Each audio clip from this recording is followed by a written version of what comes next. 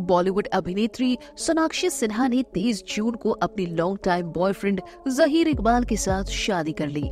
सोनाक्षी जहीर की शादी के बाद से ही बॉलीवुड की रज्जो की प्रेग्नेंट होने की खबर काफ़ी तेज़ी से फैल रही है। अब पहली बार सोनाक्षी ने अपनी शादी के बाद सभी खबरों के बारे में बात की है। अपने पति जहीर इकबाल को लेकर भी पहली बार सोनाक्षी ने बयान दिया है। सोनाक्षी इन दिनों अपने पति जहीर इकबाल के साथ वक्त बिता रही है।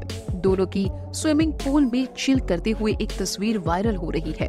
इसी बीच सोनाक्षी ने अपनी प्रेगनेंसी की खबर पर भी चुप्पी तोड़ी है। सोनाक्षी ने शादी के बाद एक इंटरव्यू में अपनी ज़िंदगी पर भी बात की है। उन्होंने कहा कि मेरी ज़िंदगी पहले से अब काफ़ी बेहतर है। शादी के बाद मैं पहले की तरह ही फील कर रही हूँ। ये बात वाकई में काफ़ी खूबसूरत है। मुझे ऐसा लग रहा है जैसे मेरी लाइफ पहले से कई ज़्यादा व्यवस्थित हो गई है।